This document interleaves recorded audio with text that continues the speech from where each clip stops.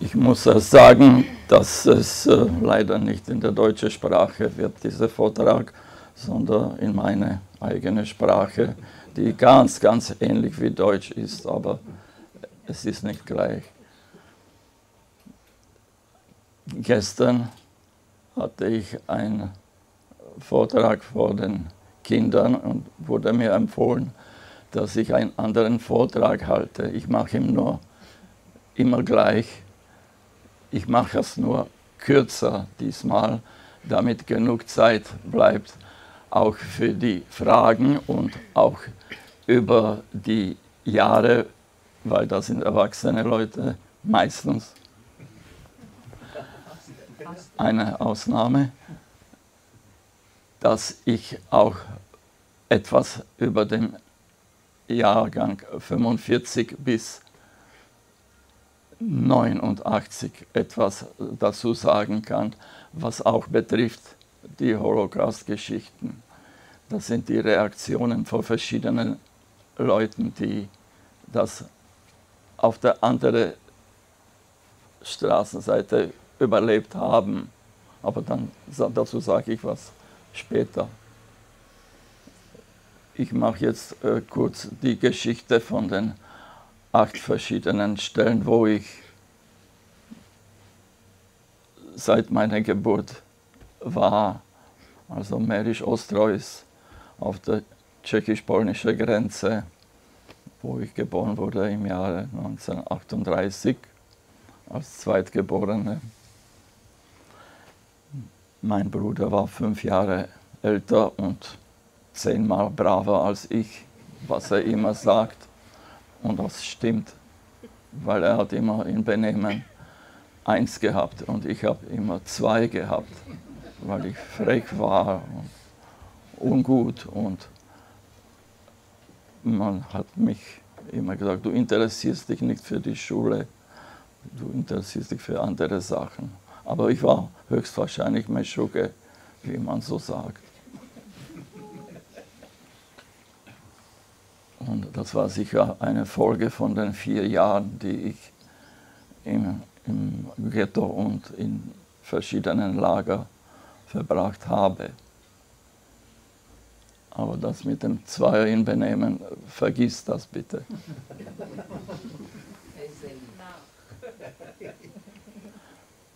ähm, Im Jahr 1939 hat meine Familie noch angenommen, dass es sicherer ist, wenn der Einmarsch von den Deutschen nach Tschechien stattgefunden hat, dass wir sicherer sind, wenn wir übersiedeln nach Prag, was ein bisschen naiv war, aber wir sind nach Prag gegangen. Und bevor wir mein Vater hat natürlich den Posten in Mährisch Ostrau in der Raffinerie verloren, die Wohnung verloren. Wir wurden in ein Zimmer gemeinsam mit anderen Leuten gebracht.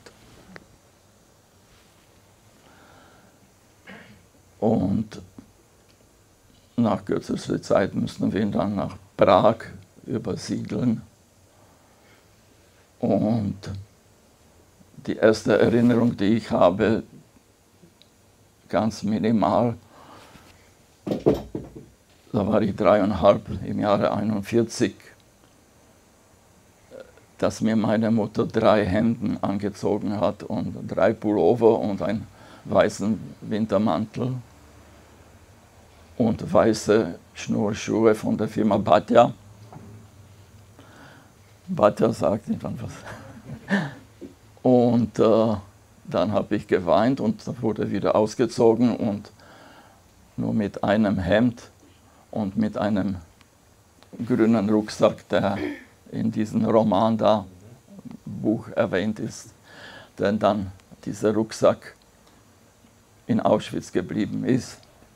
Und in diesem Rucksack war nur ein Nachttopf mit Klopapier, mit viereckigem Klopapier und zwischen den Klopapierblätter waren Deutschmark.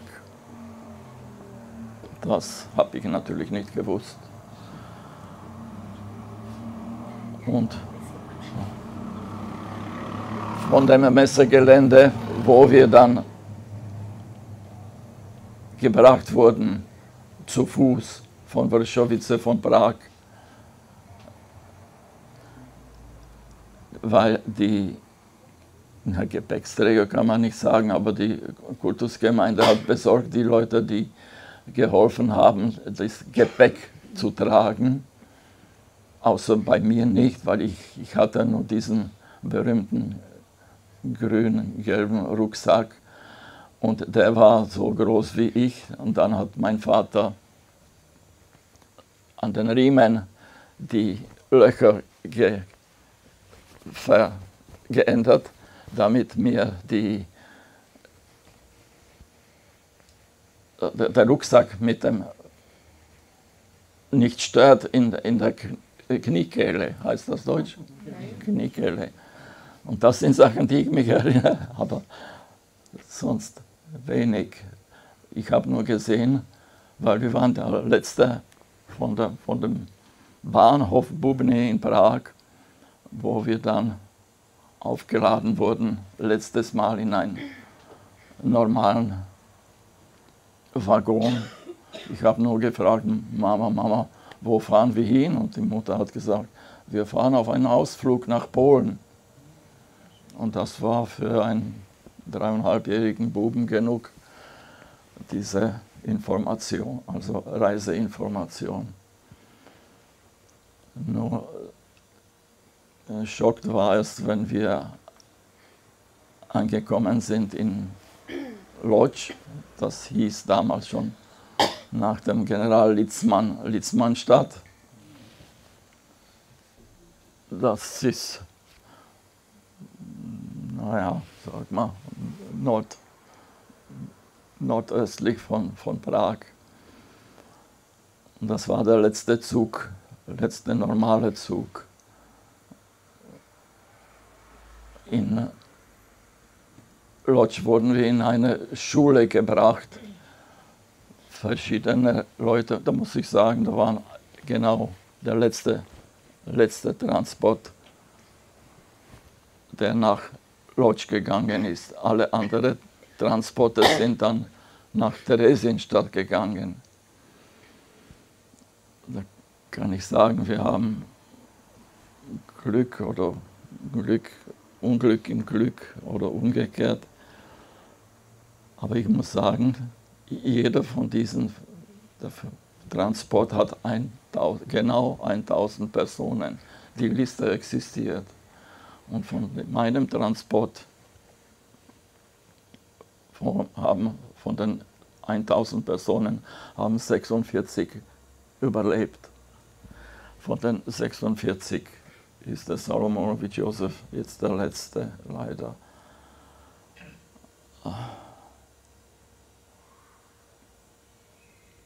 Schwer. Schwer zu verdauen.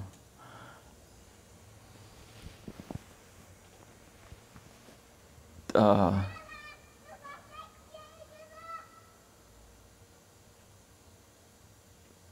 dreijähriger Aufenthalt in zehn Minuten zu erklären, ist schwer.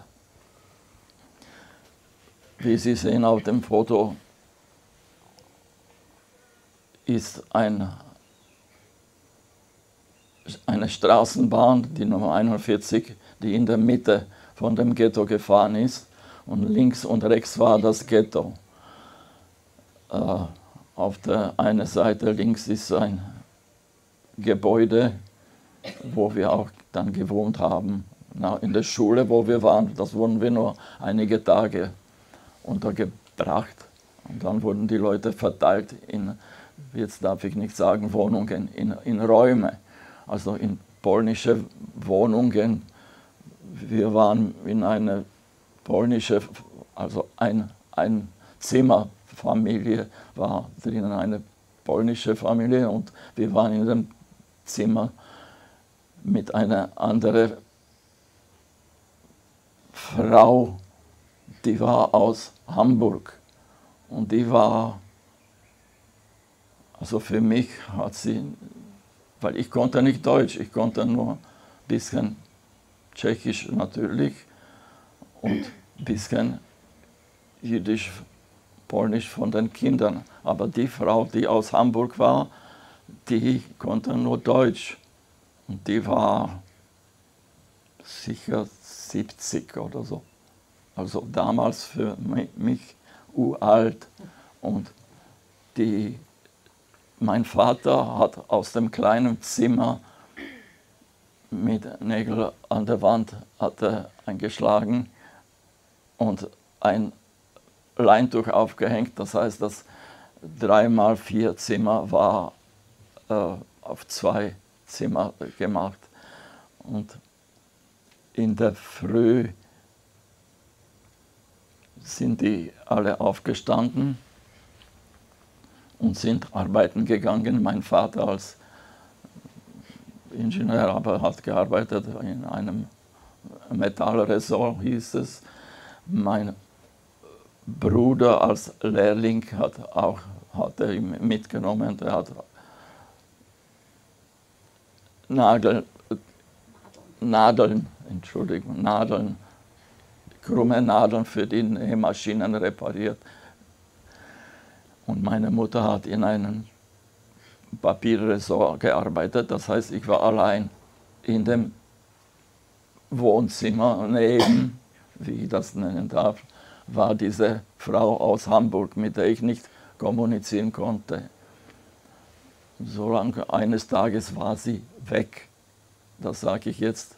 Wir alle wissen, wo sie dann, das kann ich dann später erklären, wie sie auf einmal weg war. Und das heißt, meistens war ich ganz allein.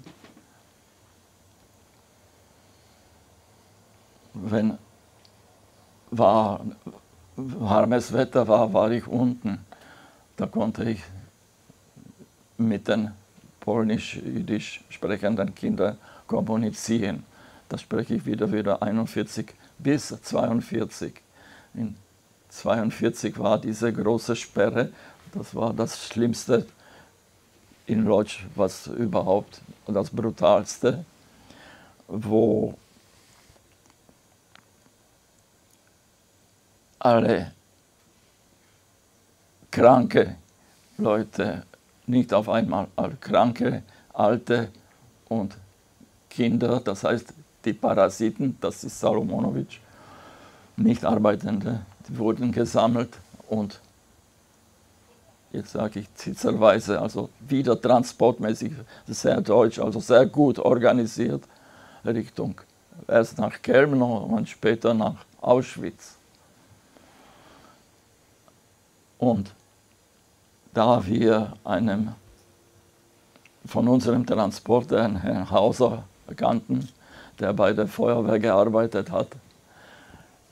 Mein Vater hat besorgt ein, eine Leiter und die haben während der Sperre diese Leiter aufgestellt und haben mich auf dem, mit der Mutter auf dem Dachboden gezwungen zu gehen zu klettern.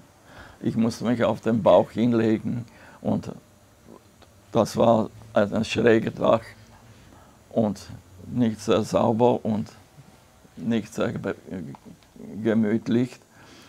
Und während dieser Zeit, wenn, wenn der Sperre, wo sie die Leute auf der Straße kontrolliert haben, alle, wer hat einen Arbeitsausweis, der wurde nicht angegriffen, also auch mein Bruder und meine Mut Mutter nicht, weil die war versteckt mit mir oben, aber mein Vater war unten.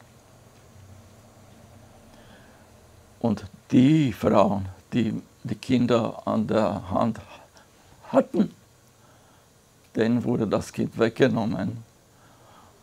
Und ich war nicht dabei, aber ich habe alles gehört, weil ich war zehn Meter entfernt. Ich habe nur die Schreie gehört. Und die anderen Kinder, meine Spielkameraden, die sich versteckt haben in den Wohnungen, in den Räumen, die wurden alle gefangen und weggebracht. Und nach dem, dann war absolute Ruhe. Nach dem Collecting, wie kann man das sagen, nach der Beendigung von dem, äh, der Aktion äh, bin ich wieder hinuntergekommen von der Leiter, weil sie wieder die Leiter gebracht haben. Die ist dort nicht gestanden die ganze Zeit. Und ich bin hinunter in den Hof gegangen und wir waren zu dritt anstatt zu zwölf, wo wir immer gespielt haben, waren wir nur drei und das waren sogenannte Anführungszeichen Prominente. Das der eine war der, der Sohn von dem Metallbetriebsleiter, der Sohn, dem, dem haben sie, Heimowitsch, dem haben sie gelassen. Das hat sich, es war sehr viel Protektion auch drinnen. In diesen Sachen, also lebenswichtig und auch bei der Zuteilung von Essen. Also die, ich kann das nicht so, das ist vielleicht ein falscher Ausdruck, die Adeligen, die, die Funktionäre, das hat mit Geld nichts zu tun, aber das mit der Funktion, mit der Zuteilung, wenn du Rüben kriegst oder nicht Rüben kriegst, das ist, oder du kriegst eine dünne Suppe oder eine dicke Suppe, von unten oder Mitte oder oben. Und diese da kann, mein Bruder konnte Romane über Kartoffelsuppe erzählen. Ich kann kein Wort über Suppe erzählen, weil ich keine Suppe bekommen habe. Dann kommt natürlich die Frage noch, wie hast du überlebt? Du fantasierst. Nein, meine Mutter hat mir immer Brot gelassen, bevor sie weggegangen ist. In, in, Büro, in Arbeiten. Und, und sie hat diese von dem Zikorienlager diese Kaffeekugel, gemacht mit Rübe, Mar Marmelade ist übertrieben. Das war künstlicher Honig und, und das hat gehalten. Das, wie Klebstoff, kann man sagen. Diese Kugel, und da hat sie die vier Kugeln gemacht, sagt sie, eine kannst du essen am Abend einer wird der Vater und einer dein Bruder und ein, am Abend. Und die sind nach Hause gekommen und die vier Kugeln waren weg. Und dann hat sie gesagt, wer hat das gegessen, diese Kugel? Habe ich gesagt, ich. Also das war nicht erlaubt. Du dürftest das nicht essen, erst am Abend, wenn wir kommen von der Arbeit. Habe ich gesagt, der Herr hat mir das erlaubt. Sagt sie, das, da ist niemand, du bist allein sage ich, der Herr hat mir das erlaubt. Ich habe das Fenster aufgemacht und ich habe mit dem Spiegel gesprochen und der Herr, ich habe so gefragt und er hat mit dem Kopf so gemacht. Ich habe alle vier gegessen. Und sie hat mich nie geschlagen. Also das war die, die Geschichte dann. Mein Vater hat, wenn ich bleibe beim Essen noch, weil Essen war das Wichtigste. Er hat eine, so wie die Piloten solche Uhr haben mit Ziffer, Phosphorblatt. Ziffer. Und das, das hat mir wahnsinnig gut gefallen. Und das habe ich mich immer, weil es war kalt, ich habe mich immer zugedeckt und konnte diese ich konnte nicht lesen, aber ich konnte die Ziffer anschauen. Und einmal hat er sie weggenommen und hat sie getauscht für ein riesen Leib Brot, ein, ein ganzes Brot. Und ich war sehr natürlich traurig, weil ich habe die Uhr nicht gehabt. Aber ich hatte einen Freund, ein, ein Uhrmacher, die haben keine Uhr, aber manche Leute hatten noch Uhren. Und er hat mir geschenkt ein Trender, ein, ein Zahnrad. Und mit dem Zahnrad konnte ich dann, anstatt mit der Uhr, konnte ich, das war mein Spielzeug. Ja, aber schwer dir zu beschreiben, drei Jahre, 41 bis 45.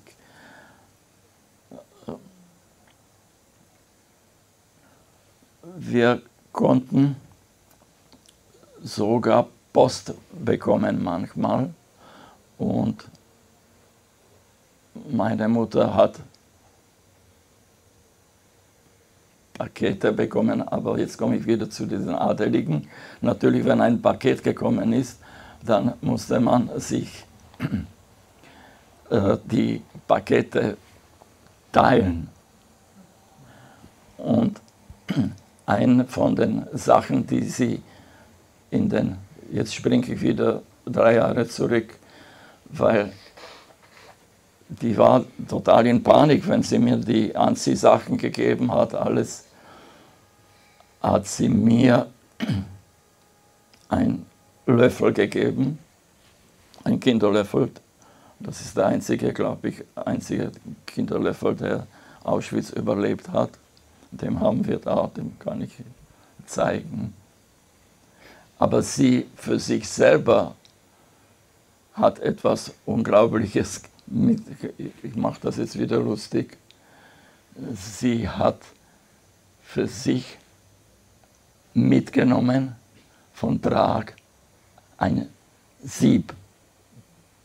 Und die Polen, die, die jüdischen Polen in, in, in Lodz haben sich totgelacht, sagt, zu was brauchst du als Sieb? Und dann sagt sie, sie mag nicht, wenn Milch war und oben ist so ein Fett. Und meine Mutter in Prag natürlich im Jahre 38, wenn sie dann wollte das nicht. Und wir haben dann vier Jahre kein Milch gesehen, aber sie hat ein Sieb gehabt. Aber der ist dann in Auschwitz geblieben. Aber die, die Polen haben sich totgelacht. Also. Aber da, ich überspringe, ich muss mich entschuldigen. Also.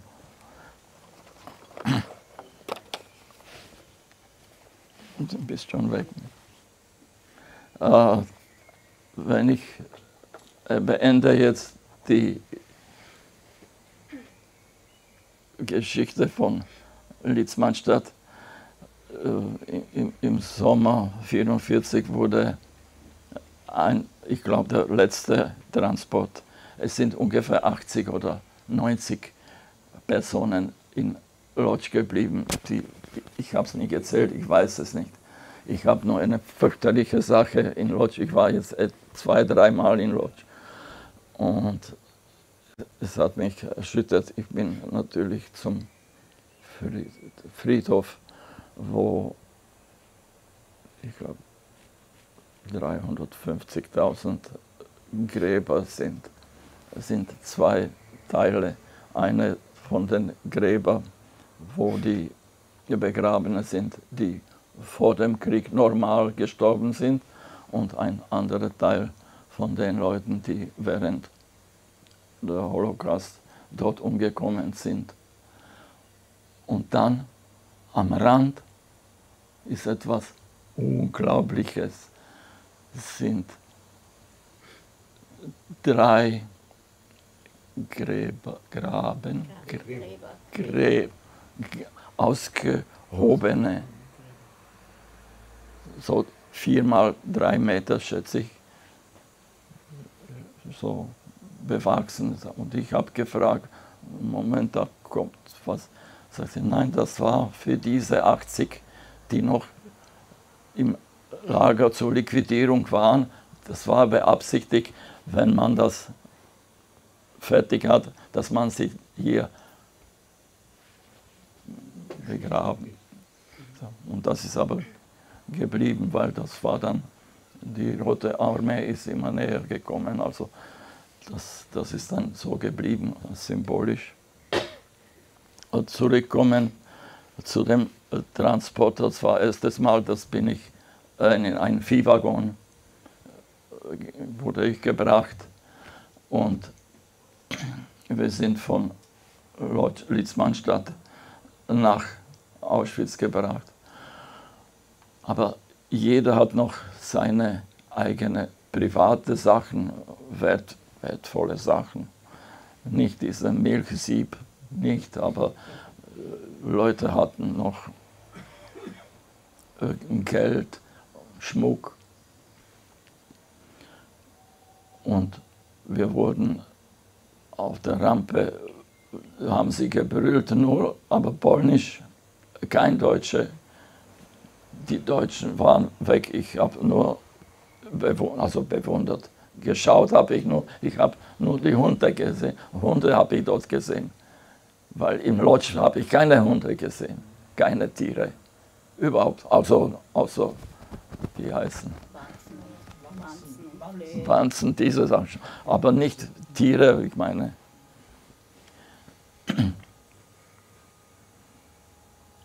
Und die haben gesagt, lassen Sie alles liegen, es wird gebracht mit dem Wagen.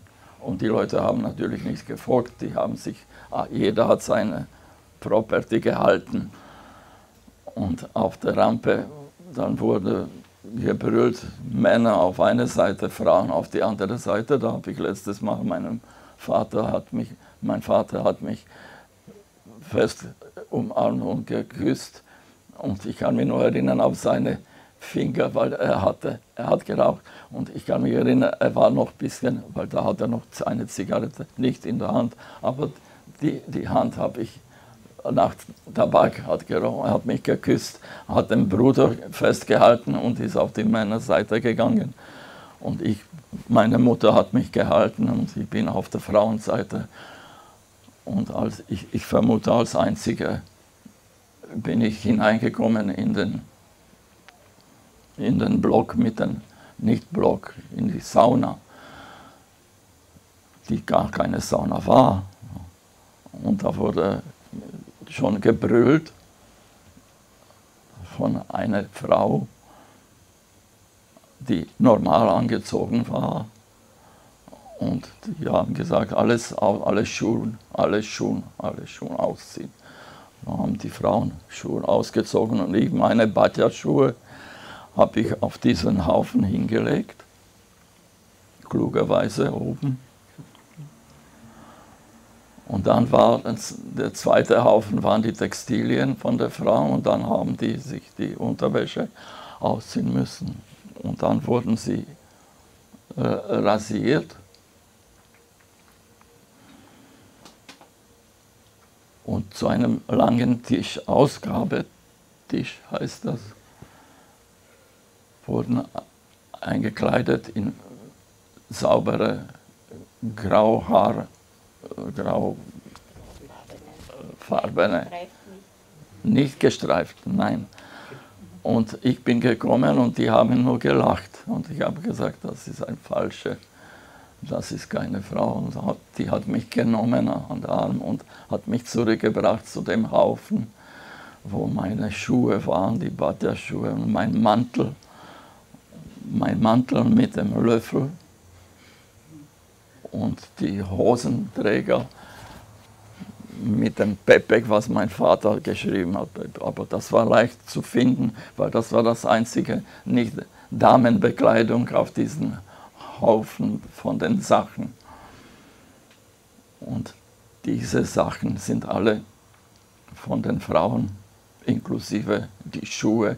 Das ist alles, in, jetzt komme ich zu dem Wort Sauna weil das geht in, ist ein Trommel, der ist bis heute dort und dort wird heiße Luft eingeblasen, damit alle Parasiten oder alle Schlechtes wegkommt. Desinfiziert, danke. Und dann wird das sortiert in Kanada. Kanada war wieder eine Abteilung, wo ein nicht adelige Angestellte, auch ein Häftling. Und die haben zum Beispiel die Krampfleck, heißt das, am Schuh aufgemacht. Die, die, das waren Profis, die haben gewusst, wo was versteckt ist, ob, ob ein Dollar drinnen ist oder jemand hat ein Ohrring, weil die nackten Frauen konnten nichts verstecken. außer im Mund. Aber das hat man sofort gewusst. Und die haben eine Ohrfeige gekriegt und es ist rausgeflogen. Das ist zwei oder dreimal passiert. Also als, als einzige kannst du den Löffel holen. Danke.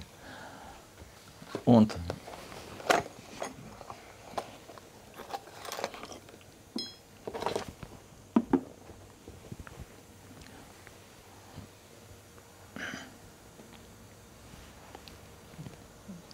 das ist der Löffel. Wenn du dann zeigst die andere 1 Million.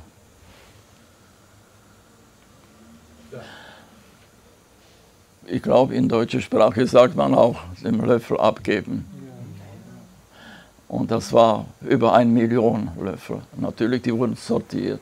Die Silberlöffel woanders als die Bronze oder Metall oder Kupfer für die Kriegsmarine, ich weiß es nicht. Aber dieser Löffel, das ist der einzige, ich weiß es nicht, ob das der einzige, was ich weiß. Also von meinem Transport auf jeden Fall. Das ist der einzige. Und der war in dem, in dem Wintermantel in der linken Tasche, weil ich esse nur mit der linken Hand. Nicht politisch, also linke Hand. Links, Linkshändler. Linkshändler, ganz genau, ganz genau. Und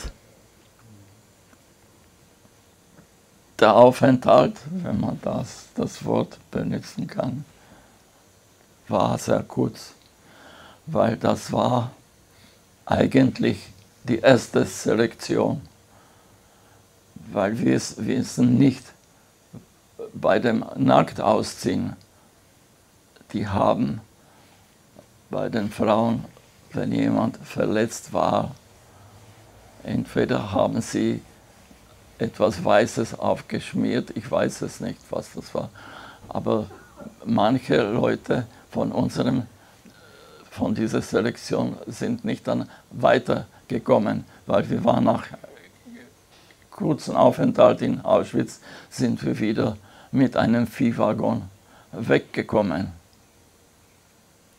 ich weiß nicht, ob waren wir von den 180 oder 220 die gleichen waren. Männer extra, Frauen extra, Richtung Stutthof. Ja, und warum, warum oder wieso war das nicht aus Liebe oder wir müssen wissen, das war schon Jahr 1944. Das heißt, die Arbeitskraft war wahrscheinlich schon wertvoller als früher. Also wir wurden nicht als zu, nur zur Selektion, aber die Leute, die in Litzmannstadt eingeschult wurden an den Maschinen, ob das in Papier oder in Textil oder in nicht Waffen, sondern Ersatzteile für Waffen, Munitionsteile, die dort gearbeitet haben, wurden, ich will nicht sagen geschont, also wie heißt der, wie heißt der von Svita wieder, der Transport? Schindler. Schindler, Schindlerliste, sowas ähnliches. Wir haben die gleiche, die Leute, die in, Stutt, in, in Lodz gearbeitet haben, sind wieder über Stutthof nach der Selektion, nach Auschwitz nach Stutthof gekommen und die gleiche, aber getrennt, Männer getrennt. Kann ich nicht normalerweise wissen. Aber ich habe sie nach dem Krieg wieder getroffen. Nicht alle, zwei, drei Überlebende. Und in Stutthof, das war für mich und für meine Familie das schlimmste Lager von allen. Erstens, das Wetter war dort schrecklich kalt, weil das ist, ich glaube, sieben Kilometer vom Wasser. Und jeden Tag war ein Zählappell. Und auf dem Zählappell sind wir normal gestanden in den Fünferreihen, immer 20. Das heißt 100. Ich weiß nicht, wie die anderen gestanden sind. Ich bin in der Mitte gestanden.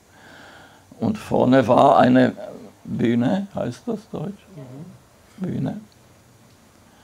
Und auf der Bühne war ein Galgen. Auf dem Galgen hang eine Frau und jeder fragt natürlich, hast du sie gesehen? Dann sage ich die Wahrheit, ich habe sie nicht gesehen, weil ich war Meter und sieben Zentimeter und normale Frau vor mir, die steht vor mir, muss Meter 70 sein. Und das nur meine, meine Mutter musste stehen und die haben immer gebrüllt, dass sie müssen Kopf hochhalten. Und das habe ich nicht verstanden natürlich. Aber mir war das nicht egal, aber ich habe nichts gesehen. Ich habe nur im Rücken gesehen. Außerdem, das war für mich wichtig, dass ich bin gestanden so, dass ich bin zwischen den Beinen von meiner Mutter gestanden und dann habe ich noch die Decke gehabt. Und die Decke ist Einschicht und die, die Wärme, weil man steht nicht eine Stunde, man steht Stunden, weil die Zahlen, wenn jemand umgefallen ist, dann noch einmal haben sie immer noch einmal gezählt. Und die Leute wollten unbedingt das fertig haben, weil sie wollten diese, jetzt sage ich wieder Kaffee, heißt das, die, diesen warmen Getränk aber der war es in der Baracke, aber erst nach dem Zählappell. Und der, der Bruder war nicht dabei, der war auf der anderen Seite bei dem Vater. Aber die Kommunikation, da war noch kein Handy, die Kommunikation war durch diesen Zaun nur die haben nur immer polnisch gebrüllt. Den Namen haben gesagt, dem gibt es nimmer. Und dann haben sie gesagt, dem Salomonowitsch gibt es nimmer. Und in dem Moment, meine Mutter, meine Haare stehen. Sie war so ein Held, Heldin.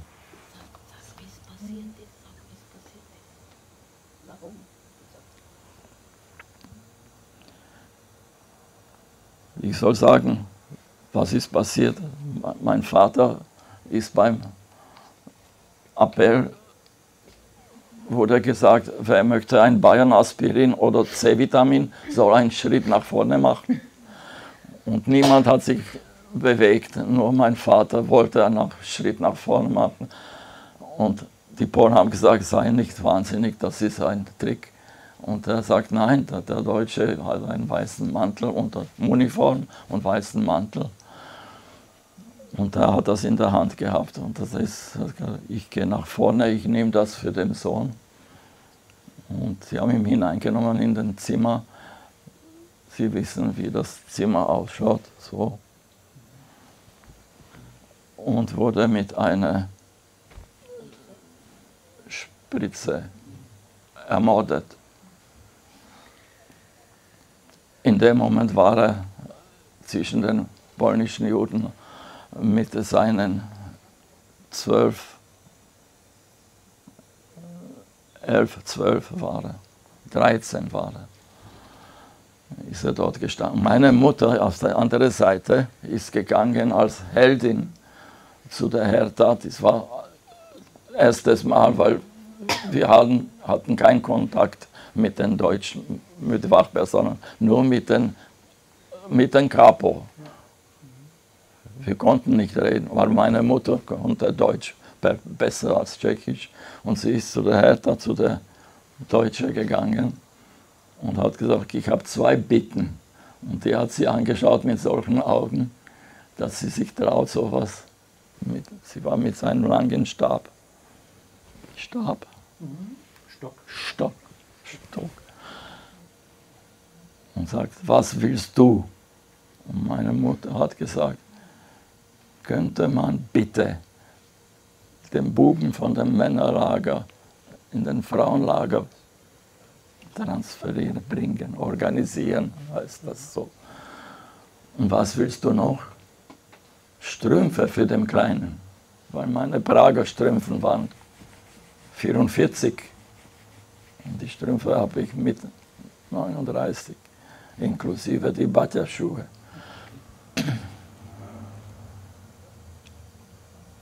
Und dann ist dieser Wunder passiert. Am nächsten Tag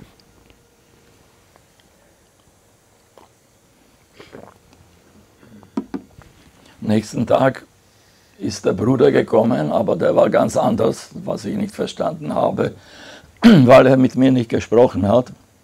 Er hat nur gezittert, die Augen haben so vibriert und er hat nicht geantwortet auf Fragen, aber die Mutter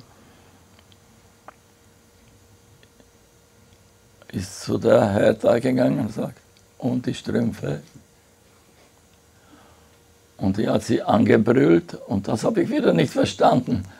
Und die hat den, diesen Stock hat sie genommen und hat das meiner Mutter gegeben und hat gebrüllt, mach zehn Kniebeuge.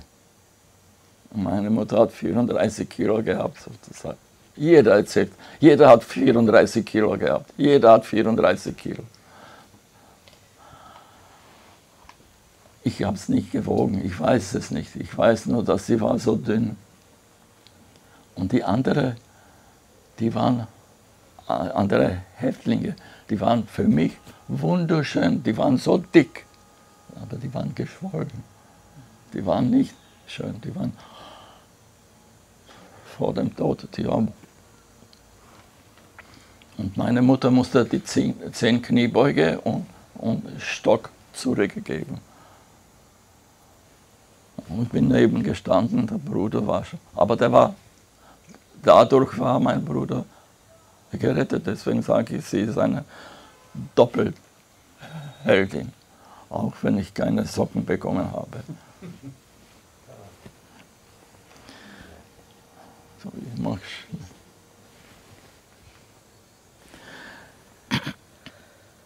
nach relativ kurzer Zeit ist wieder die Rote Armee näher gekommen Richtung Stutthof.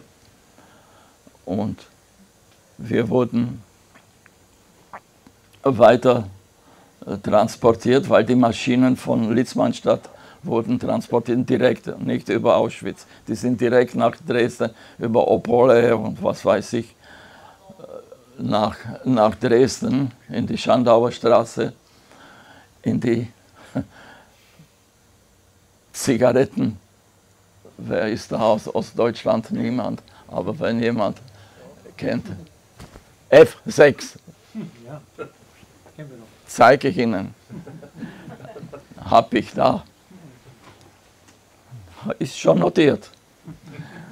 Äh, die Maschinen wurden, das, das war, muss ich sagen, eine Naivität von den Deutschen, dass sie die Maschinen demontiert haben, mühsam nach Dresden, weil sie angenommen haben, das weiß ich erst jetzt, haben gesagt, nur das ist in Deutschland, da, da kann nichts passieren, da werden wir weiter produzieren. Da haben sie die Fundamente in der, in der Zigarettenfabrik demontiert und montiert. Das ist nicht so einfach. Und die Maschinen angebaut, aufgeschraubt. aufgeschraubt. Und die Leute, das hat auch gedauert, etliche, jetzt kann ich sagen, vier, fünf Wochen. Und der Mann, der das gemacht hat, der hat überlebt. Deswegen weiß ich es nicht, weil ich gescheit bin. Ich bin nicht gescheit. Und von Stutthof müssen Sie sich vorstellen, das sind sicher 400 oder 500 Kilometer. Nach Dresden in die Schandaustraße wurden wir gebracht und das war wieder mit einem Viehwaggon. Mit, jeder hat eine Margarine bekommen, ein halbes Brot und eine Wurst. Und in der Mitte war ein Behälter für Wasser und ein Behälter für Toilette. Und das hat gedauert, weil er ist nicht als Schnellzug gefahren, sondern, naja, so wie im Krieg im Jahre 1944. Und wir sind dort angekommen und das sind dann Worte meiner meine Mutter, die sagte, das war ein Paradies weil nach dem Aufenthalt von Litzmannstadt, von Auschwitz, von Stutthof war das ein Paradies. Da war Wasser und, und Wärme, Heizung und Licht. Nicht aus Liebe, sondern wegen der Fabrik. Und dort hat meine Mutter arbeiten können. Und mein Bruder, der zu klein war, musste äh, zu der Fräse, haben sie ihm ein Schemel, heißt das Schemel oder Schemel, Schemel gemacht, weil er zu klein war, damit er groß genug ist und hatte seinen Widerstand geleistet. Er hat schlecht gearbeitet. Ich glaube nicht aus, aus Nationalität oder so. Aber naja, er war noch zu jung. Aber er hat einen Schemmel bekommen. Und der Einzige, der nicht gearbeitet war, der Parasit Josef Salomonowitsch. Bei dem Zählappell, weil es war schon Jahr 44, wurden wir gezählt von unseren SS-Aufsichtspersonal, die schon gewusst haben, what's going on die haben Informationen gehabt, wo ungefähr die Front sind. Und bei den Zählappell, ich habe auch Marmeladebrot bekommen einmal. Ich vergesse das nie im Leben. Aber das war nicht als, das war extra. Das war ein, das vergesse ich nie. Und ich vermute, das war die SS-Frau, die natürlich gewusst hat, dass ich dort bin. Nur bei Kontrolle von der Oberbehörde heißt das Deutsch. Wenn die zur Kontrolle gekommen sind, dann wurde ich in eine Tonne hineingelegt, wo man Schmutzwäsche gemacht hat, gegeben hat. Und meine Mutter hat mit dem Deckel und hat gesagt, du darfst atmen, sonst darfst du gar nichts.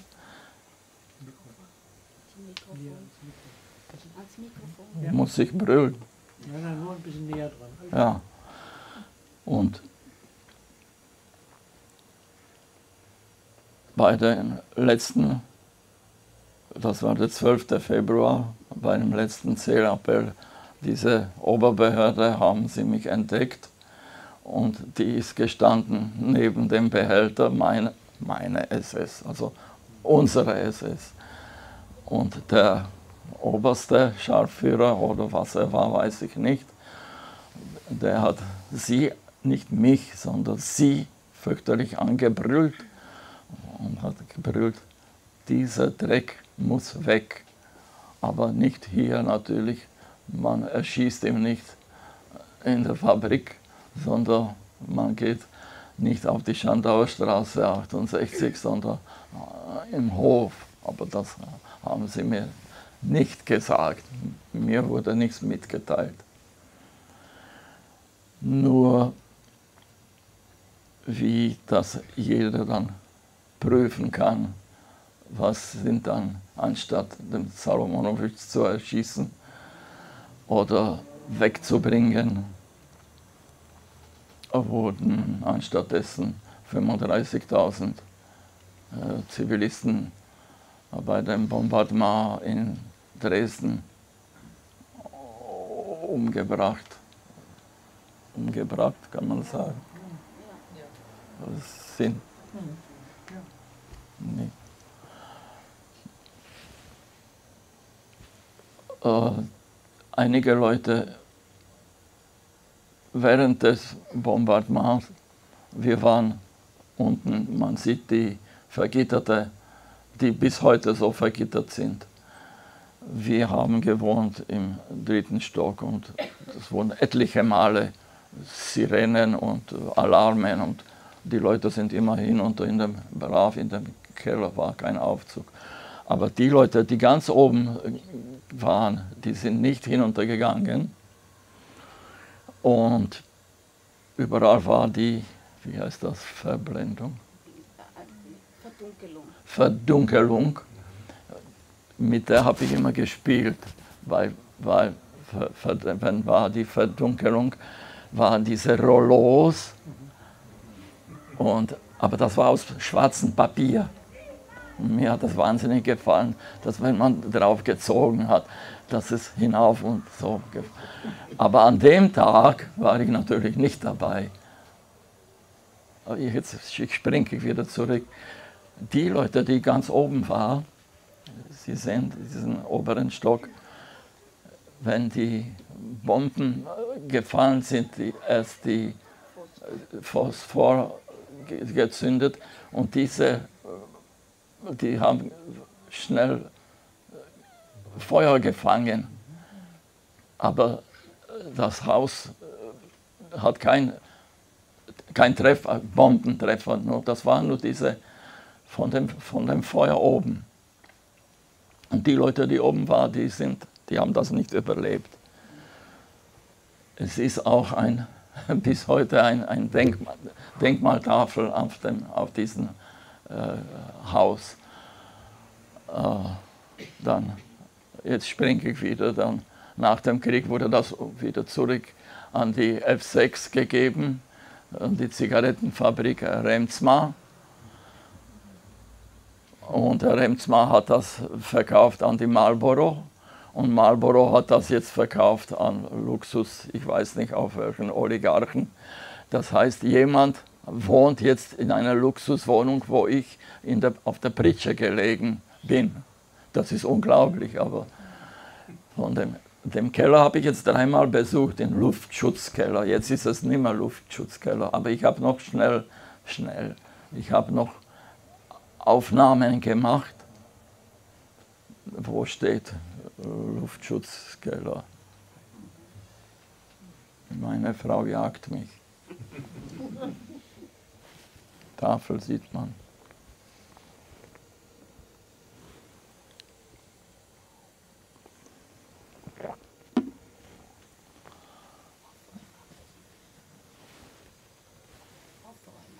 Aufräumen. Natürlich nach dem Bombardement. Bevor wir das Bombardement haben wir unten überlebt mit einem Wachmann an der Ausgang geflüchtet hat. Nur eine einzige Frau, aber viel später. Aber niemand wollte flüchten, wenn der Bombardement angefangen hat. Wir haben keine Ahnung gehabt, wir haben nur gehört, wie der Wachmann mit der, mit der Waffe am, bei dem Ausgang aus dem Luftschutzkeller, heißt das, glaube ich. Brüllte immer Mund aufmachen, bevor die Bombe pfeift hinunter. Und wir haben das nicht verstanden, aber wir haben Mund aufgemacht und das war wegen der Detonation, damit man die Trommel nicht verliert, also nicht platzt. Und das, das haben wir, also die Maschinen sind neben der Wand, aber das, das hat sich gar nicht bewegt, die Maschinen. Nur die Fenster sind geflogen, aber die Gitter, dieses, das Gitter, das ist alles geblieben. Und nach dem,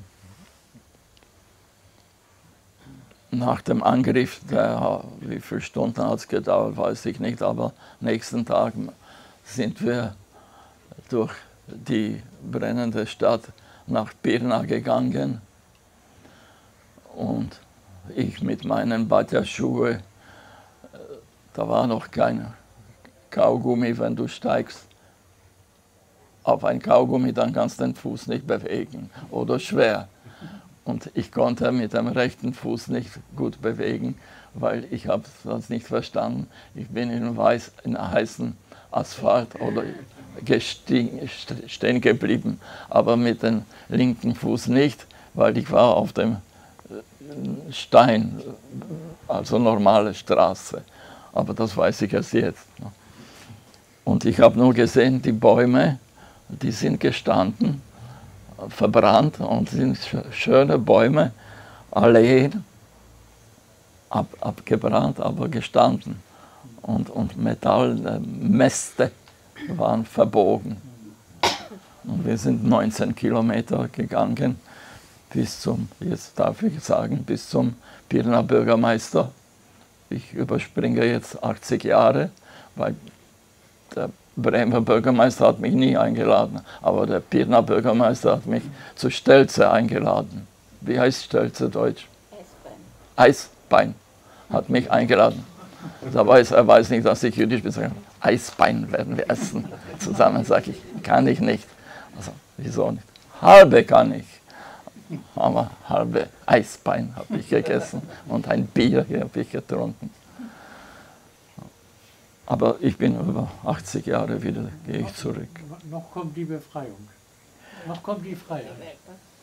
Ja. Bitte.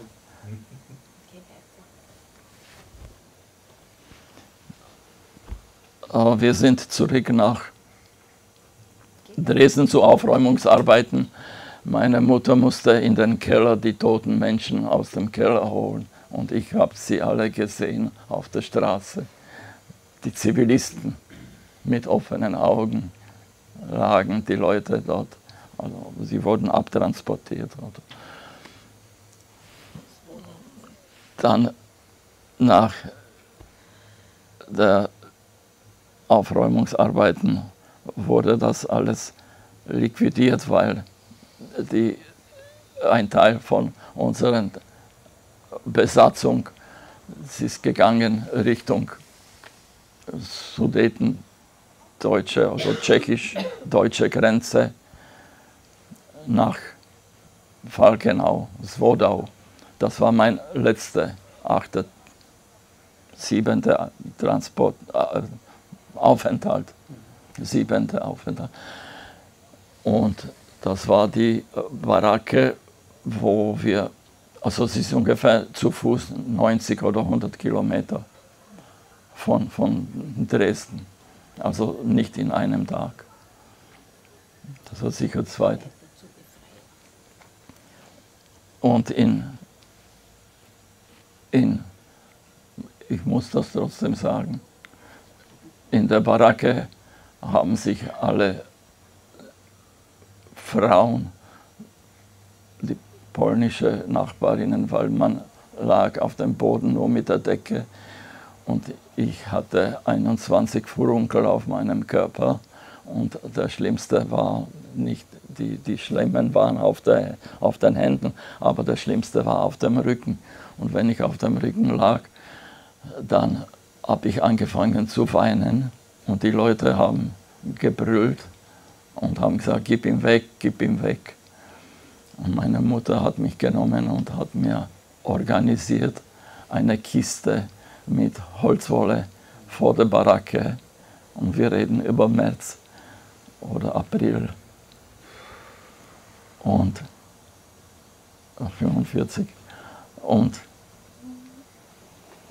ich bin draußen gelegen und ich konnte nicht mehr. Und das war mein letztes Gespräch mit dem lieben Gott, wo ich ihm gesagt habe, lieber Gott, lass mich sterben. Ich konnte nicht mehr. Und am nächsten Tag sind wir dann weitergegangen auf den Todesmarsch, den wirklichen Todesmarsch von Swatava, von Falkenau Richtung Südwest.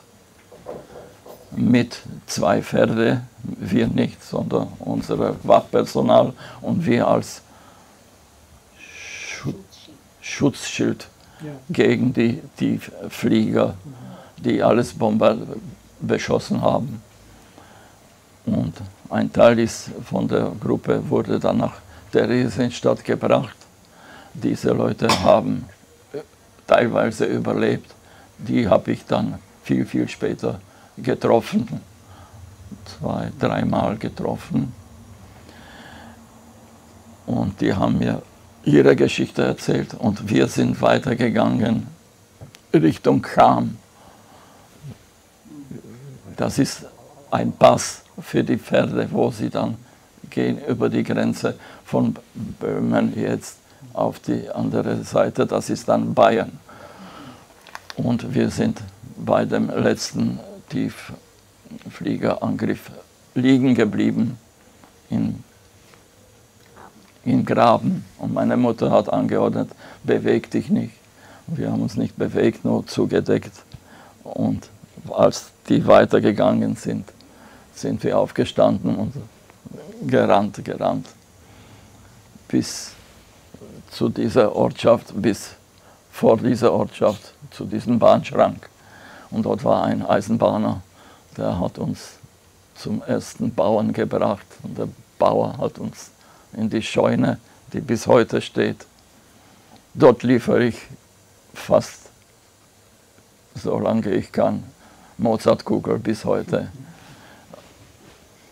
Diese Dame, die jetzt gestorben ist, die mit alles wieder bestätigt von ihrer Seite. Ihr Vater natürlich hat uns versorgt mit Brot und haben sie uns in der Scheune die drei Nächte liegen gelassen, bis die Amerikaner gekommen sind. Und dann sind die Amerikaner gekommen und wir waren fast frei. Dann kommt das Martyrium von 45 bis 89. Flugzeug. Flugzeugzeit. Ich weiß nicht, äh, wie es Ihnen geht, Herr Salomit. Vielleicht sollten wir doch hier eine Pause machen, auch für Sie. Ein bisschen durchatmen. Ich meine, Ihr Leben ist noch lange weitergegangen, aber wir. Ähm, ich kommen Sie entscheiden. Äh, Ich, ich stelle mir vor, dass es sehr anstrengend ist und wenn Sie den Wunsch haben, auch eine Pause zu machen zwischendurch, gerne. Aber ich das ist Ihre Entscheidung.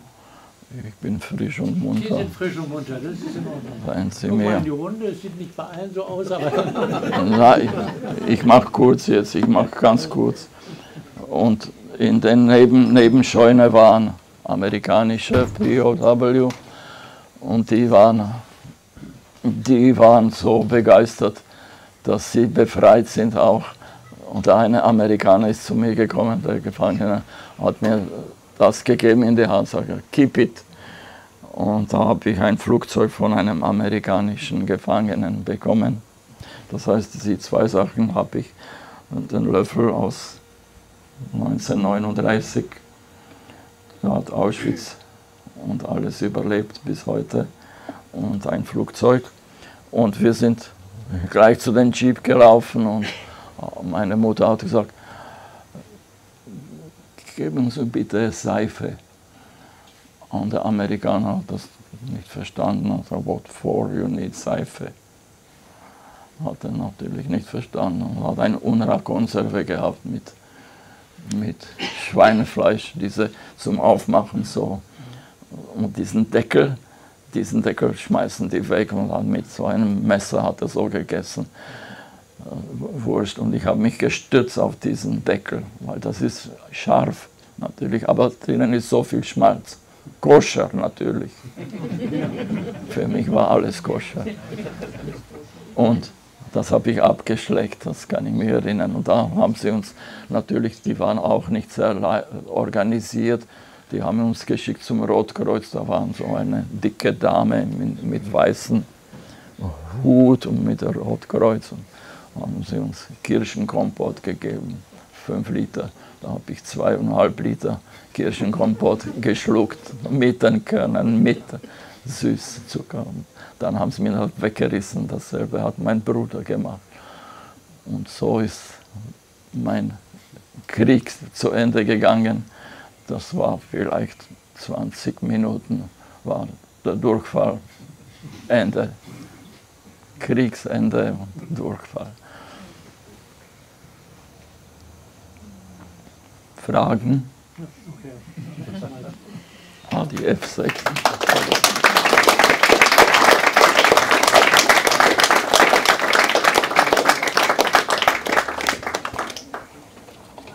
Ja, vielen Dank noch für das Flugzeug und den Kirschkompott. Das hätte nicht fehlen dürfen. Das sehe ich, drin, das F6. Das sehe ich ein.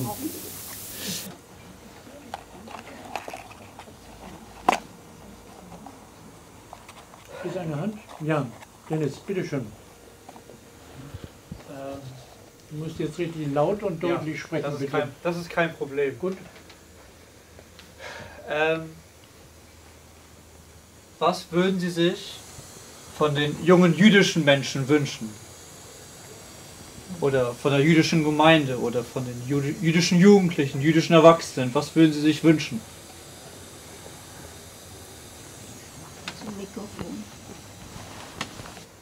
Also ich bin Mitglied der jüdischen Kultusgemeinde in Mährisch-Ostrau.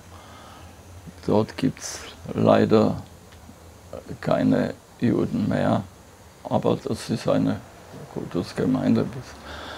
Ich, wir sollen tapfer weiterkämpfen. Es ist nicht, nicht einfach. Nicht einfach. Meinen Sie in Deutschland oder überhaupt? Also ich bin in einem neutralen Staat, ich bin nicht in Deutschland. Vielleicht so im Allgemeinen, meinst du das? Also allgemein, also wie, wie sollen nicht nur die... Wie sollen Bildung, Bildung ist das einzige, einzige Kraft, die du... Bildung ist die, nicht die Macht, aber das hilft. Ende genügt auch die Note 2 in Betragen. Finde ich jetzt nicht so schlecht, die 2. Weitere Fragen? Hier, ja, ich kann das nicht sehen. Bitte schön. Ähm, ja, mich würde interessieren, wenn man so eine Geschichte hat, wenn man so schlimme Dinge erlebt hat. Ähm, ob sie das heutzutage schaffen, ähm, also wachen sie manchmal noch nachts auf und haben Angst und träumen davon. Sehr also, gut, das das lässt einen doch niemals los, oder? Ja, also nach jedem Vortrag.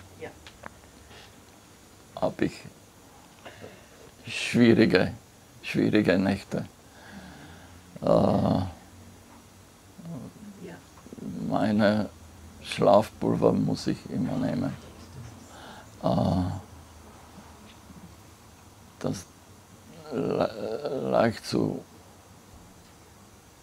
Mein Bruder konnte das, der war genial, der konnte dreimal pro Woche einen Vortrag halten. Ich kann das nicht. Ich bin in diesen Sachen, also mein dreht sich das, in der Nacht dreht sich das zurück. Ich weiß nicht, wie ich das erkläre, aber Sie verstehen mich.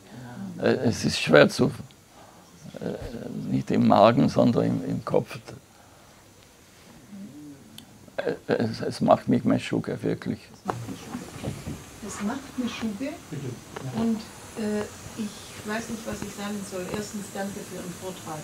Zweitens, große, nochmals eine große Bewunderung, weil Sie setzen sich ja damit äh, den, den damaligen äh, Geschehnissen aus.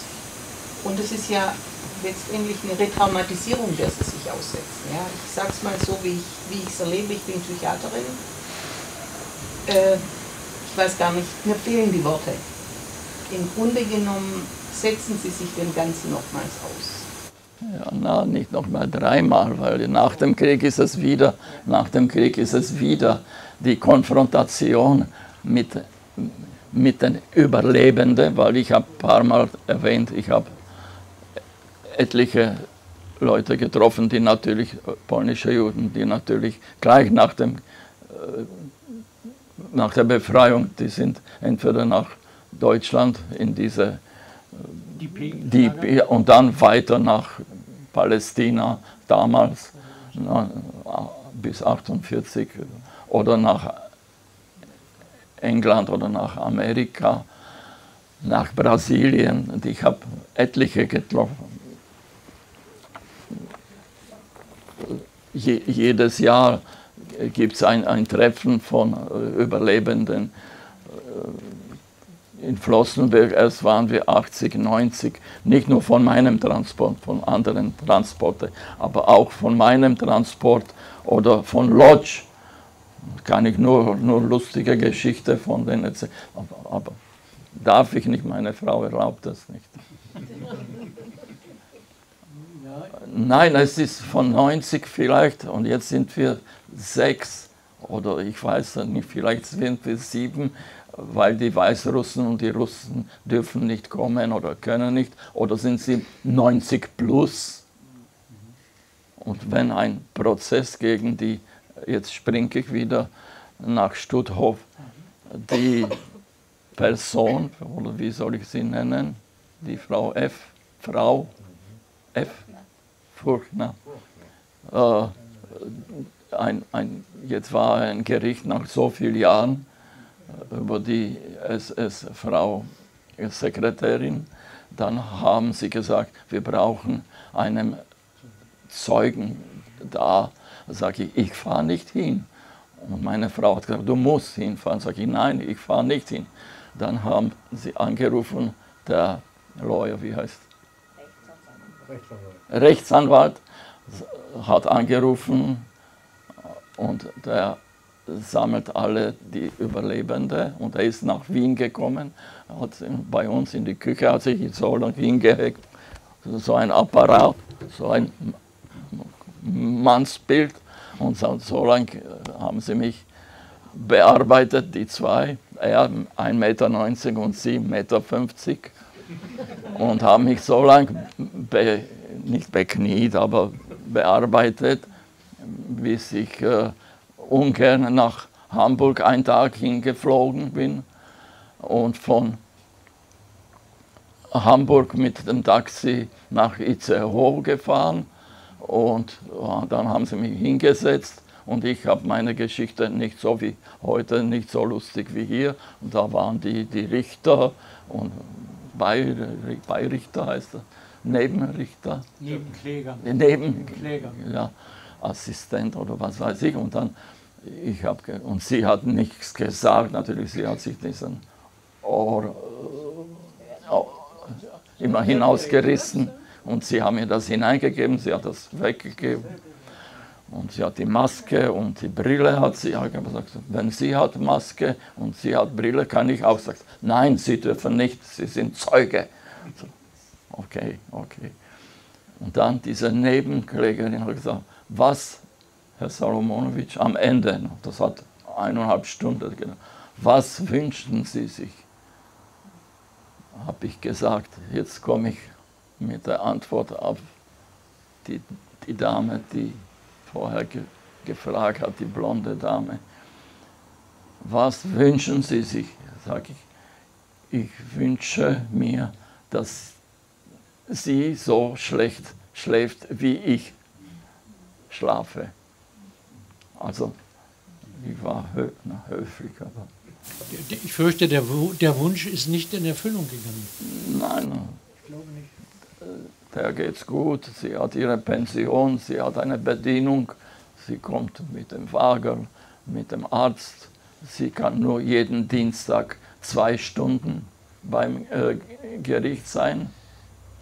Alle anderen Zeugen, die noch leben, die zum Beispiel in Amerika sind, und er macht eine Aussage, dann nur am Bildschirm, weil dort ist 6 Uhr und da ist sieben Stunden anders. Und der Richter, Richter ist wieder nicht da, dann ist das nicht gültig, dann warten wir 80 Jahre. Und deswegen findet das erst jetzt dieser Pro Prozess, also Prozess. Hier vorne ist eine Wortmeldung. Ganz hier vorne, der junge Mann. Die erste Reihe. Achso, die erste Reihe. Der junge Mann, der junge Mann. Ja, ich. Okay. Kannst losgehen. Meine Frage war, hatten Sie in den Lagern, in den verschiedenen Lagern, wo Sie waren, hatten Sie da Freunde oder waren Sie, sag ich mal, immer nur allein? Und ja, ja, ich hatte Freunde, ja. Gute, gute Frage. Einer hieß Adek. Adek ist Adam, Abkürzung in, in polnischer Sprache. Und er war, wie ich schon erwähnt habe, ein von den, sein Vater war Betriebsleiter von einer, aber auch ein Gefangener. Und der Adek hat mit mir gespielt und, und die haben immer Semmel bekommen. Ich, ich habe keine Semmel. Also nicht er. Der, die, die Mama hat von dem zweiten Stock gebrüllt. Adek, willst du eine Semmel? Hat er gesagt, nein. Willst du eine Semmel mit Marmelade? Hat er gesagt, nein. Und ich war neidig. Also, was willst du? rufte die Mama. Damit die Tante krepiert, weil die haben nur auch ein Zimmer gehabt. Und die waren alle in einem Zimmer. Und die war am Sterben. Aber es hat ihm gestört. Er sagt, er wünscht sich, dass sie krepiert. Und dann, wenn sie gestorben sind, da habe ich auch eine Liste, die habe ich gestern gezeigt. Die haben die Toten nicht gemeldet. Warum? Weil dann kriegst du zweimal Brot, also als ob du lebst. Und erst am dritten Tag haben sie äh, den Toten abgemeldet. Aber die Liste, wo mein Bruder zum Beispiel mit zweimal steht, habe ich da. Zweimal Solomonovic. Wenn ich das richtig gesehen habe, dort eine Wortmeldung? Ich habe es nicht gesehen, aber machst du. Ja, bitteschön. Das verstärkt mich einfach. Okay. Ähm, ich äh, wüsste gerne, hatten Sie als kleines Kind, war Ihnen da schon klar, dass das eine Situation war, die nicht einfach nur schlecht, sondern auch ungerecht war. Also war ihnen klar, dass die, ja.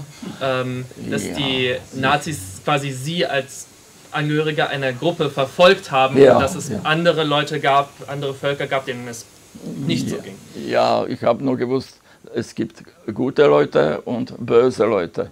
Und als ich saß in Litzmannstadt an dem Zaun, also wo die Durchfahrt durch das Ghetto ist, wo der 41er Straßenbahn fuhr, wir konnten nicht, wir sind auf der anderen Seite gewesen.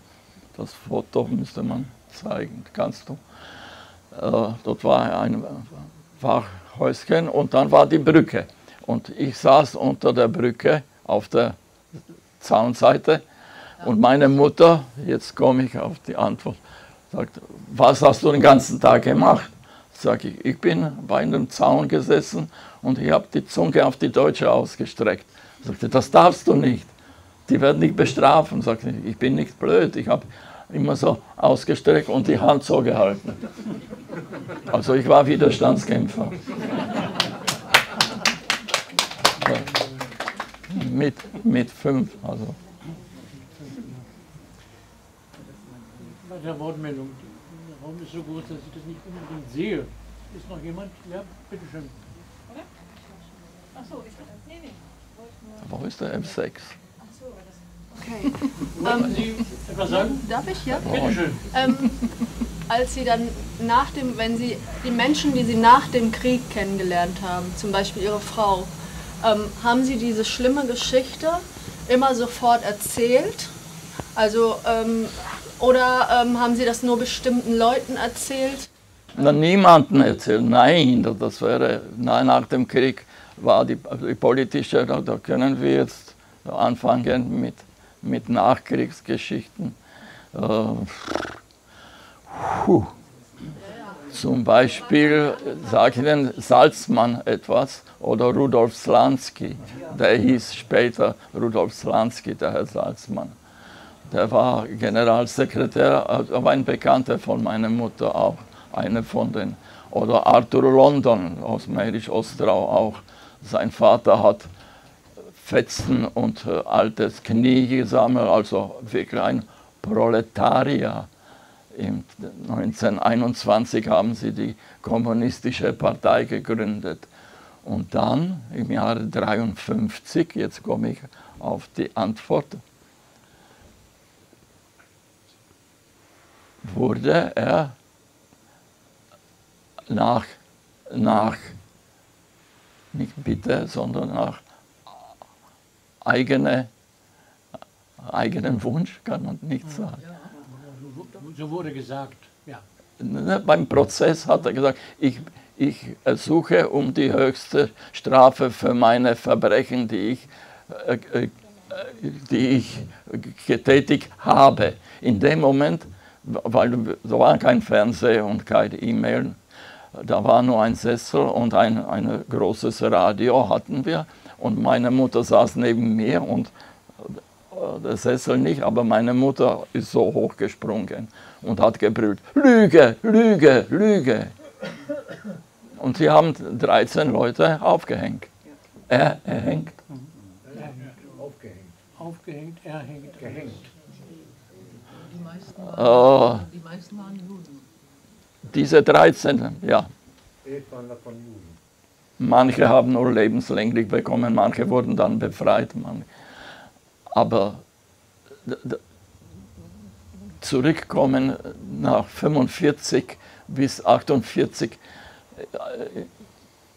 das war noch nicht der, der, der erste Umsturz war im Jahre 48, im, am 25. Februar. Ich war in Prag am Wenzelsplatz, nicht, dass sie mich eingeladen haben.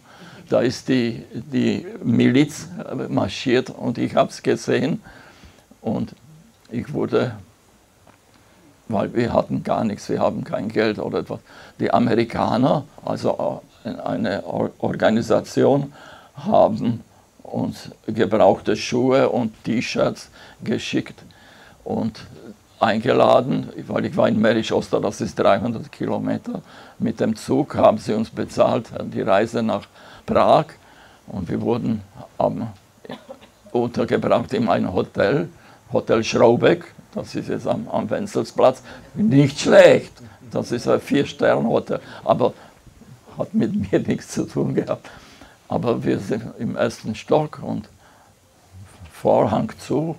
Und da kam, also livrierte äh, so Page und hat gesagt, gnädige Frau, bitte nicht zum Fenster gehen. Und natürlich ist er weggegangen und in dem Moment war meine Mutter beim Fenster und hat aufgemacht. Und, und das habe ich gesehen in meinen Augen. Da war ich neuneinhalb, neuneinhalb Jahre alt und da sind gegangen, man so, uh, die haben schöne Waffen, uh, das sind und die haben eine rote Binde, heißt das? Und, und Leder, nicht Leder, also Kunstleder heißt das, glaube ich. Solche so wie, so wie, so wie früher Gestapo hat echte gehabt, aber die haben solche und, und Kappeln gehabt. Und das habe ich bewundert natürlich, aber ich habe nicht verstanden. Aber die sind gegangen. Marschieren, marschieren, marschieren. Das war 25. Februar. Habe ich, Mutter hat es verstanden, ich habe es natürlich nicht verstanden. Ich habe nur verstanden, dass Zwei in Benehmen ist schlecht in der Schule. Aber da war unglücklich meine Mutter, nicht ich. Ja, bitteschön. Ja, vielen Dank für Ihren Vortrag, Herr Salomonowitsch. Ich wollte Sie fragen, ähm, welche Rolle Israel, schrägstrich Palästina, sowohl als Sehnsuchtsort vor der Staatsgründung als auch als Ort nach der Staatsgründung für Sie gespielt hat, wenn überhaupt eine Rolle. Das würde mich mal interessieren. Weil da jüdische Jugend ist, dann sage ich Ihnen, ich war vor zwei Jahren, habe ich ein, so, einen, so, einen, so einen ähnlichen Vortrag gehalten in Palästina. Sag ich, wo hast du in Palästina? Sag ich, ja, in einem deutschen Gymnasium in Palästina, ein deutsches Gymnasium, einer ist katholisch in Jerusalem und einer ist in Nazareth, ist das, oder Bethlehem? Bethlehem. Bethlehem. Und sage ich, was wollt ihr von mir? Ihr habt da 10.000 Überlebende. Was wollt ihr von mir? Nehmt einem älteren, guten, ausgebildeten, Hebräisch sprechenden, Englisch sprechenden, Deutsch sprechenden oder Jiddisch sprechenden, sagt, mit, und die sagen, mit denen wollen wir nichts zu tun haben. Sag ich, was, was heißt das? Also, wir wollen einen aus einem neutralen Staat. Da haben sie mich genommen von Wien, Meschuge. Aber ich sage, ich kann nicht, ich bin ein alter Mann, ich nehme nur mit meiner Frau. Also, du machst das. Da haben sie den Weintraub, den Leon Weintraub, den kennt ihr vielleicht. Und ich habe einen Vortrag in einem Mädchengymnasium, nur für Palästinenser. Und die haben gefragt, was ist Holocaust? Die haben überhaupt vom Zweiten Weltkrieg von Juden ähm, gesagt, sie kennen nur die dort. Sie haben nie gesagt Israel. Sie immer, das sind die Bösen. Da sage ich, das sind nicht die Bösen. Und ich habe versucht, über Holocaust zu reden und, sagen, und über Zweiten Weltkrieg, über die Deutschen, über die Juden habe ich gesprochen. Die haben Augen gemacht, ja. dann fast, ein, fast geweint, dann sind aufgestanden und haben mir Weihnachtslieder vorgesungen. Echt, echt, Weihnachtslieder. Schön gesungen, in Deutsch. Haben Sie denn mal ernsthaft überlegt, nach Israel zu gehen? Äh, zum Besuch, ich habe Familie. Nein, richtig äh, dorthin auszuwandern, nach Israel zu wechseln. Nein, äh, nein, sind weil, ja gegangen nein, nein, nein, weil wir haben von der Familie meine eine Tante war in Russland während des Krieges auf der Front in Stalingrad. Eine war in England und eine war, in den, die uns unterstützt hat, teilweise in Nähe von Mährisch Ostrau als, als Christin mit falschen Papieren. Und diese drei haben nach dem Krieg wieder zurück nach Mährisch Ostrau sind gekommen. Das heißt, meine Mutter war die vierte und die waren zusammen dann. Und deswegen wollte sie auch gar nicht irgendwo weggehen. Und wir konnten auch, wir könnten auswandern, aber dann war die Grenze.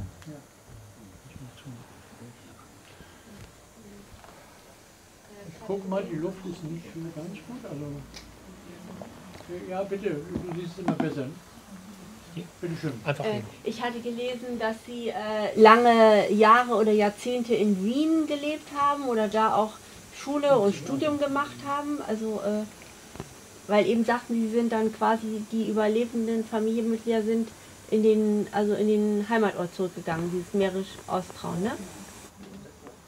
Also die, die, Frage ist, wann Sie nach Wien gekommen genau. sind. Ab wann? Wann? Ja. Ich habe ein, ich habe 71, 1971 äh, geheiratet, eine österreichische Dame.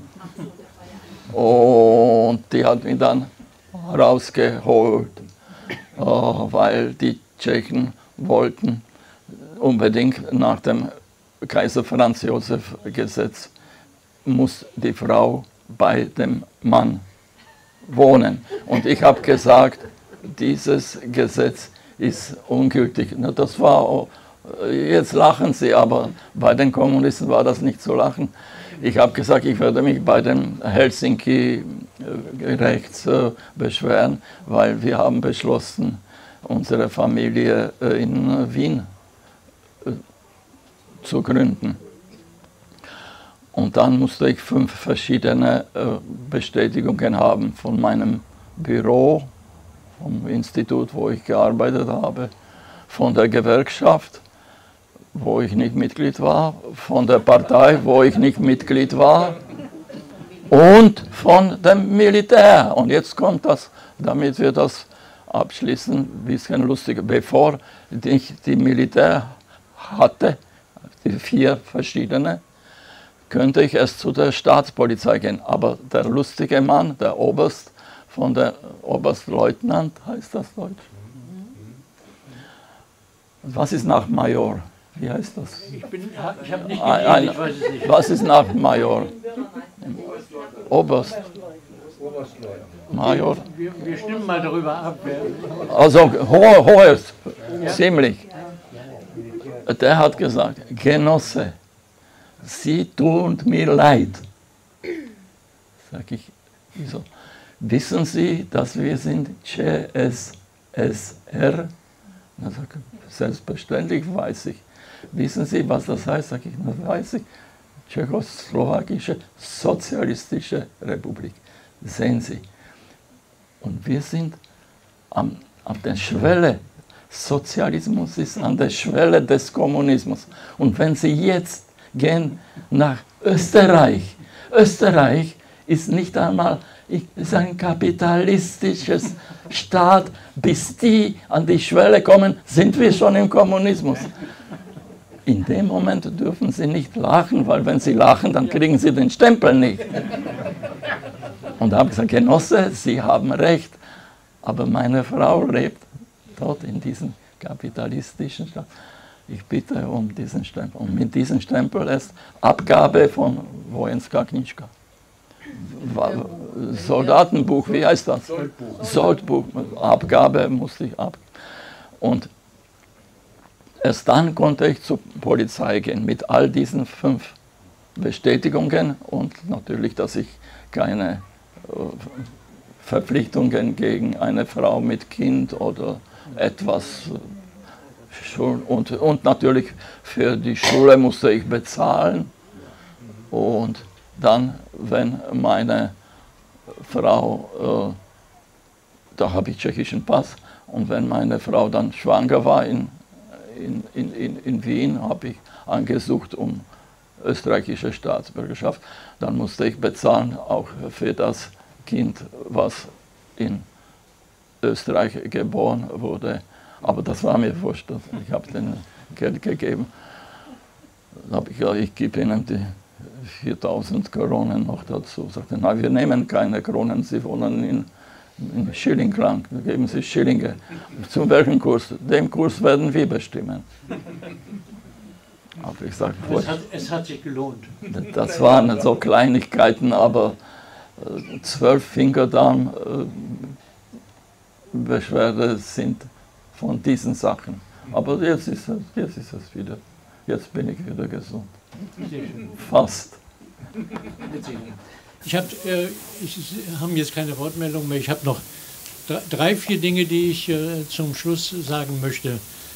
Das erste ist ähm, äh, dieser Mensch von 1,90 Meter und die Frau von 1,50 Meter und äh, äh, dass sie die beiden überzeugt haben, nach Itzehoe zu gehen. Ich bin ganz sicher, und ähm, Sie konnten das nicht alle sehen, aber ich konnte es von hier aus sehen, ich bin ganz sicher, dass den Ausschlag die Person mit den 1,50 gegeben hat, weil ich will das verbinden mit einem ganz herzlichen Dank an Sie, Frau Salomonowitsch, für Ihre Arbeit, für Ihren Beitrag. Ähm, ich, ich weiß es nicht genau, aber ich bin ganz ziemlich sicher, dass äh, Ihr Mann das ohne Sie so nicht machen und durchhalten und durchstehen könnte. Also ganz herzlichen Dank für Ihre äh, Hilfe dabei insgesamt. Das zweite ist das mit dem, mit dem Löffel. Äh, Sie haben den hochgezeigt und haben gesagt, das ist, der, ist vielleicht der einzige Löffel, der Auschwitz überlebt hat. Und dann haben wir ein Bild gesehen von diesen schrecklichen Sammlungen im Museum Auschwitz, wo diese Gegenstände alle aufbewahrt sind. Wir müssen uns immer klar machen, wir sind äh, froh, dass wir Sie zu Gast haben, aber wir müssen uns immer klar machen, dass Sie sprechen für die vielen, vielen, die mit nehmen. Ihnen zusammen dort waren und die heute, die das dort schon nicht überlebt haben oder inzwischen gestorben sind. Sie sind eine, inzwischen eine einsame Stimme. Aber das ist schön, dass Sie den vielen, die das nicht mehr können, wenigstens eine Stimme geben. Also das ist ganz wichtig, das muss man sich nur äh, ganz klar machen. Das- Wegen meinem Bruder mache ich das. Ja, er ja. sollte da sein, Ja. nicht ich. Ja, ich Aber glaube, das muss man nicht so Geschichte. oder so sagen, aber es wäre schön, wenn er auch da wäre. Natürlich. Aber ich glaube, er war noch älter. haben Sie gesagt. Ja, ja. Ja, ja. Fünf Jahre.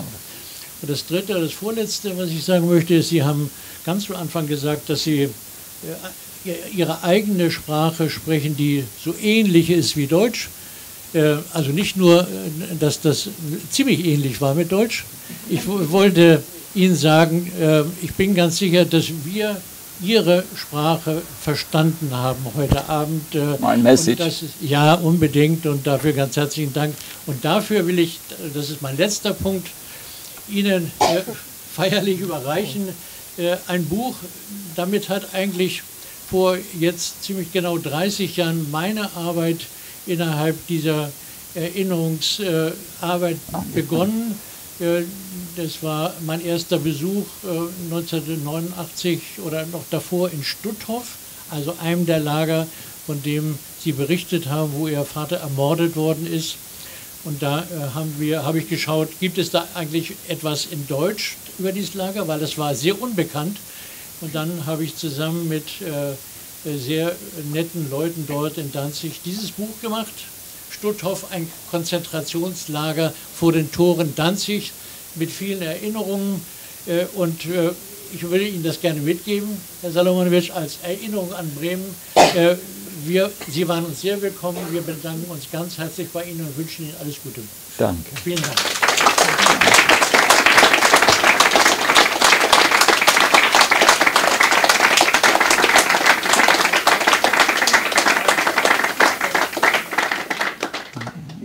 War jetzt dreimal in, in Stutthof, auch mit meiner Frau.